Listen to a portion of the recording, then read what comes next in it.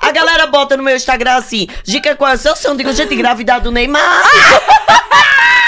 Pra que hipocrisia, gente? Eu falei, ó. é Ne- ó, né? Não, gente, eu falei, Neymar é super meu amigo, super bom pai. A criança engaja no Instagram, entendeu?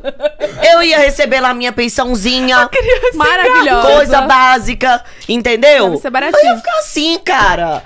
Sabe, de vez em quando eu mando um. Um, um, Um oi pro Neymar pra ver se ele não tá aí, Não, né? eu mando um WhatsApp pra ele. Amigo, e se eu engravidasse você assim rápido? ele, ele, ele, ele responde com áudio, gritando de rir. Ele faz assim: Você é a pessoa mais louca que eu já conheci na minha vida.